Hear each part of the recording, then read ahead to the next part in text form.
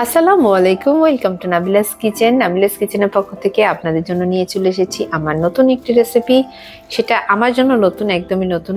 তো ট্রাই করলাম, ভাবলাম যে আপনাদের সঙ্গে শেয়ার করি।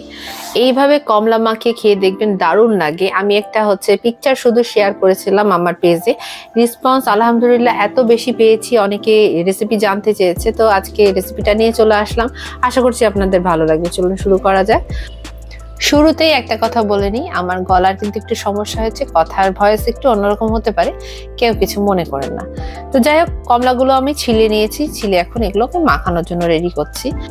আমি একটা বোল নিয়ে নিলাম বড় সাইজে এখানে কমলাগুলো মাখাতে সুবিধা হবে। তো কমলার কুয়াগুলো আমি নিয়ে নিলাম, এখন এর মধ্যে দিয়ে দিব ভাজা জিরার গুঁড়া, দিয়ে দিচ্ছি চিলি ফ্লেক্স চিলি ফ্লেক্সটা যত দেবেন ততই মজা। আমি দিয়ে দিলাম আমার আন্দাজ মতন, আরও দিয়ে দিচ্ছি লবণ বিট লবণ থাকলে আপনারা বিট লবণ দেবেন, এতে বেশি টেস্টি হবে। দিয়ে দিচ্ছে চিনি চিনি দিচ্ছি এখানে দুই টেবিল চামচ মতন, যেহেতু কমলাগুলো টক আছে সেই জন্য একটু বেশি করে দিলাম।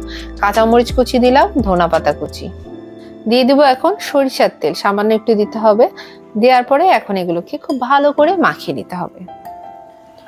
আমার ছোট বোন নাজিয়া কমলা খেতে গিয়ে বলছে, আপু, কমলা টক লাগছে। তা আমি বললাম যে, এক কাজ কর, কমলাগুলো ছিলে দে, আমি তোদেরকে মাখিয়ে দিচ্ছি। তো ওরা আমাকে কমলা ছিঁড়ে দিল, ওদেরকে যখন মাখিয়ে দিই, ওরা এত পছন্দ করেছে, এত পছন্দ সবাই মানে অনেক মজা করে খেয়েছে। আর কমলাটা হচ্ছে ছোট বড় সবাই কিন্তু বেশ পছন্দ করি। ফলের মধ্যে কমলাটা খেতে আমাদের ভালো লাগে। তো কমলা হোক, মালটা হোক, এভাবে করে যদি মাখিয়ে খাওয়া যায়, মিষ্টি কমলাও আপনারা এভাবে মাখিয়ে খেতে পারেন, তাতে আরও মজা লাগবে।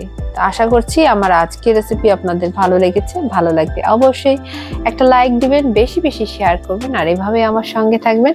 আমার চ্যানেলটিতে নতুন হয়ে থাকলে অবশ্যই সাবস্ক্রাইব করে বেল আইকনে ক্লিক করে অল দিয়ে রাখুন। আমি যে কোনো রেসিপি দেওয়ার সঙ্গে সঙ্গে নোটিফিকেশনের মাধ্যমে আপনাদের কাছে পৌঁছে যাবে। আমার রেসিপিগুলো আপনারা দেখে নিতে পারবেন। আর আমি হচ্ছে এখন ভয়েসটা একটু কম দিচ্ছি, কারণ আমার গলার অবস্থা খুব একটা ভালো না এই জন্য আমার ভিডিও এবং এডিটের কাজগুলো পড়ে আছে। কারণ আমার কথা বলতে খুব কষ্ট হচ্ছে। এই যে এডিটটা করলাম না, আমার সত্যি অনেক কষ্ট হয়েছে এবং অনেক সময় লেগে গেছে।